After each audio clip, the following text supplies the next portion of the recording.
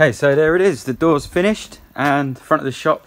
I'm really pleased with it. Absolutely over the moon. It's having it's so nice. It's having a real door on the shop. So really pleased with it. My wife's painted the wall for me, so that sort of tidied that up. I've got a tiny bit of trim to do, but other than that, it's basically done. So good actually having a nice door to enter when you come into the shop and into work. Much better than stumbling around with a stable door, which is really cold. I've done quite an in-depth build on this, even though it's not a very uh, fine piece of furniture and it's just a, an oak door, quite simple. I thought you'd be interested in seeing how it was put together and the processes. It's going to be quite in-depth, so it's not too short.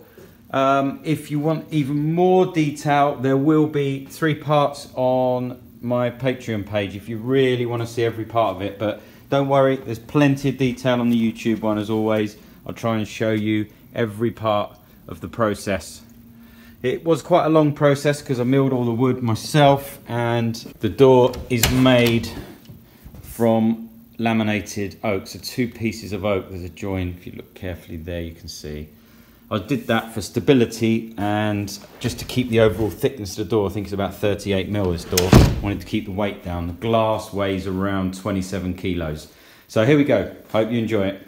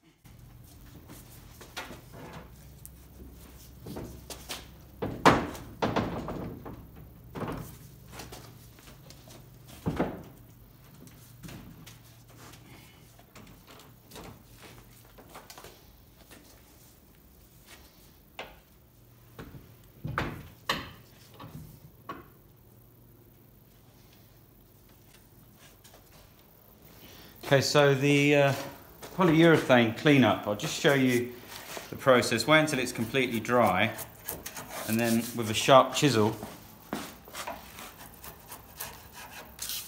you just cut it off. So it's not too bad. Now it will need sanding because what I've discovered, um, if you've not used this before, what I've seen is that I'm not going to finish this door, I'm going to let it age, it's just because it's oak. What will happen is this part here with the urethane won't age, so you'll notice it. So it will need to be sanded right back anyway.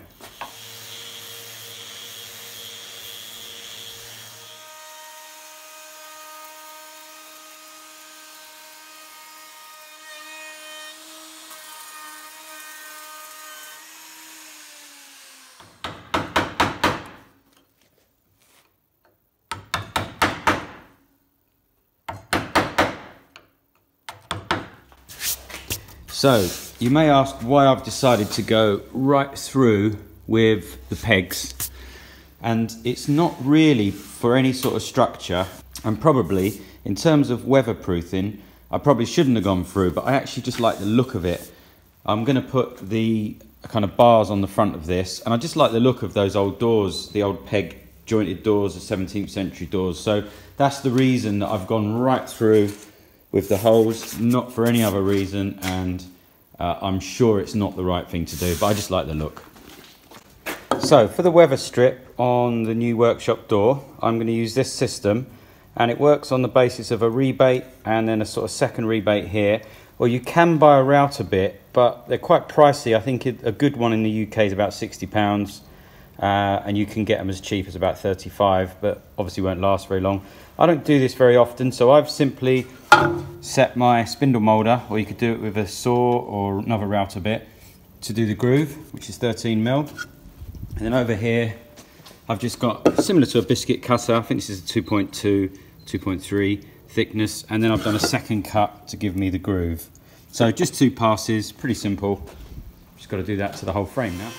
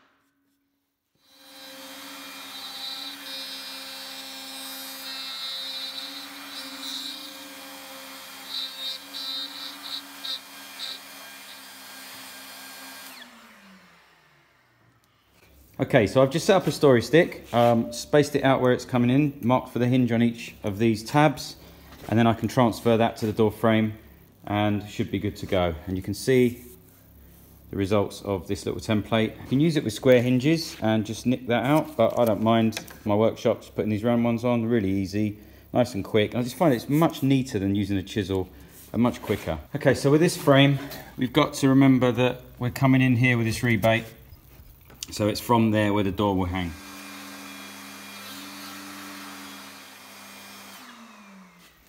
Okay, so that worked really well, the story stick and that new little jig, really clean and fast. You can see how that lines up.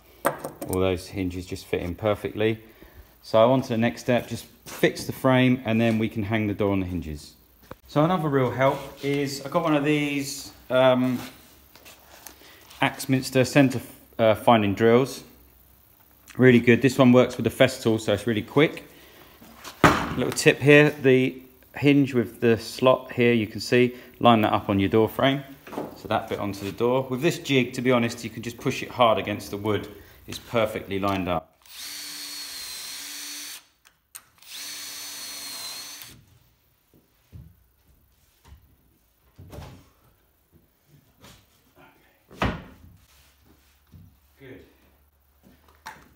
Tight fit.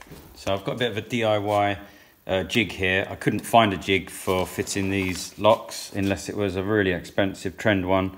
And I don't do many locks, so I just made this one quickly.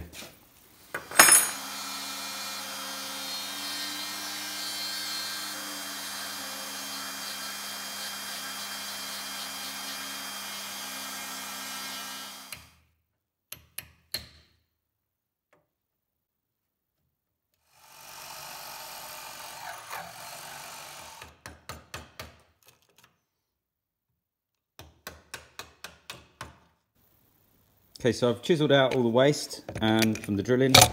Now I'm going to drop that in and I'm going to reset the router to now go down to the next level for the actual lock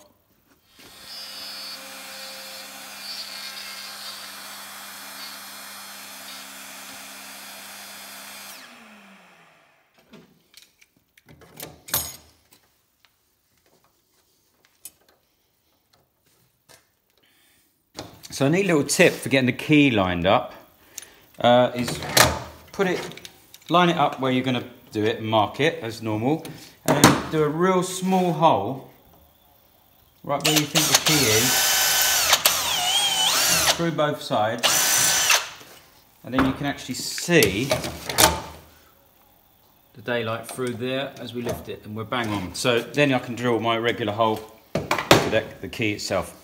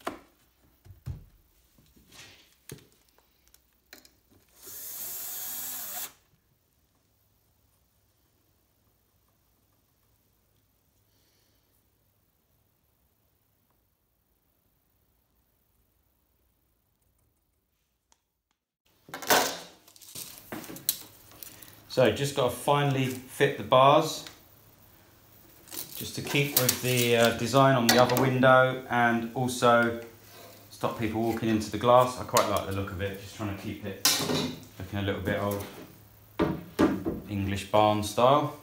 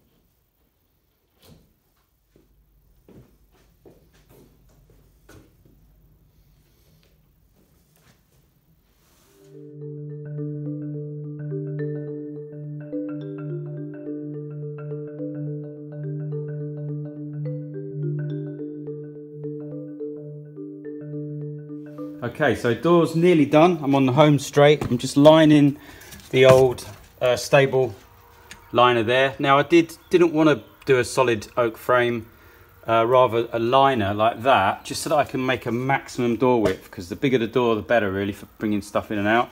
So I've literally lined the original timber frame here, and then I'm just gonna put these face plates on and then trim it out with a door stop right across.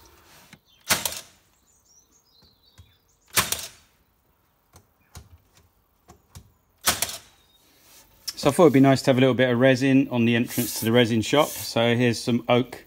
I put some resin in. So I've got a little rebate there just to catch the water drips and I've chamfered it down on the planer to give it an angle.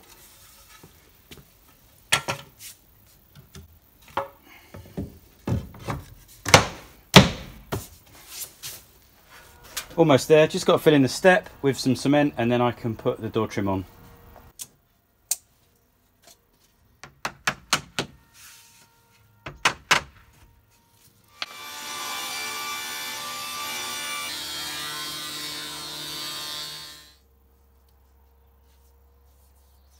Furniture, just uh, basic. The house and all the other main doors have a doorknob.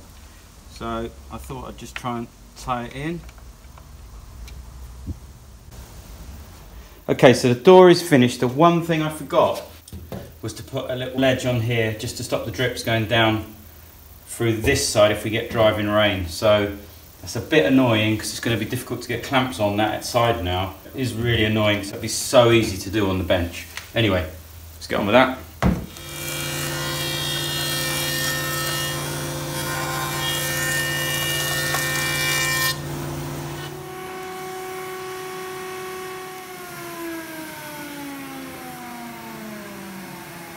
going to cut a 15 degree angle just when the door shuts you're going to see it won't hit on the door frame